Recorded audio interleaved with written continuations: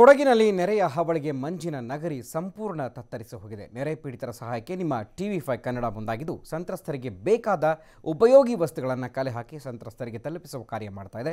TV fine ಈ ಅಭಿಯಾನಕ್ಕೆ wrapper Chandan Shetty ಅಭಿನಂದನೆ ಸಲ್ಲಿಸಿದ್ದಾರೆ.